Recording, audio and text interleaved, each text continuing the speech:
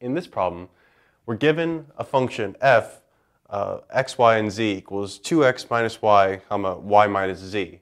And we want to determine whether or not f is linear, affine linear, or neither. And after that, we want to describe what the level set of f equals 0 looks like.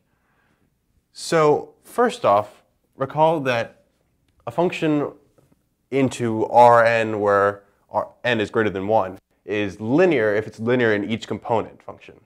So the two component functions we're given are f1 is 2x minus y and f2 is a is y minus z. And keep in mind that these are both functions from R3 to R.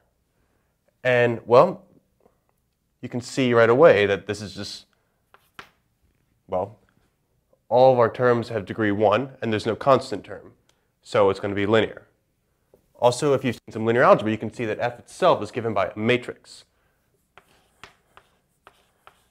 such that f of x, y, z is, see, 2, minus 1, 0, 0, 1, minus 1 applied to x, y, z. But you don't need that. It's just convenient terminology, and it shows right away that the function f is linear. Okay, so now that we have that, we want to describe the set of points x, y, z where f equals 0.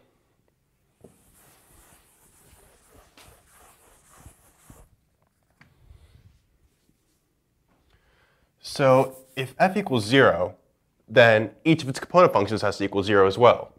So that gives us 2x equals y and y equals z. Okay, so we've described it, but we can do a little bit better. We can actually give an explicit description of this set. So it's a set of points, oh, so x, y, z in R3 such that 2x equals y, and since x equals 2x equals y and y equals z, we have that's also equal to z. And we can replace these three variables with one variable, actually.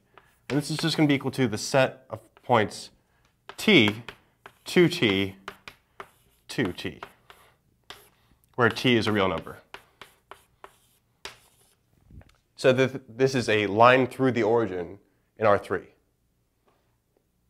And that's it.